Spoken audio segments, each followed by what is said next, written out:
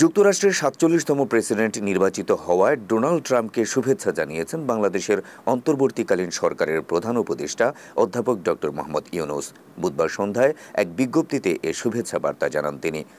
শুভেচ্ছা বার্তায় ড মোহাম্মদ ইউনুস বলেন, মার্কিন প্রেসিডেন্ট নির্বাচনে বিজয়ের জন্য আপনাকে বাংলাদেশ সরকার এবং জনগণের পক্ষ থেকে আন্তরিক অভিনন্দন।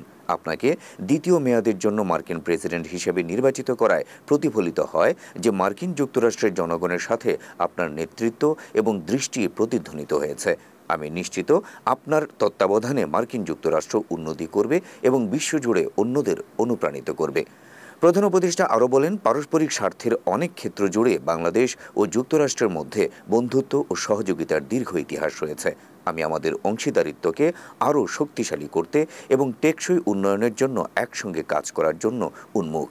আমি দৃঢ়ভাবে বিশ্বাস করি, দুই দেশের বন্ধুত্বপূর্ণ অংশীদারিত্ব বজায় থাকবে।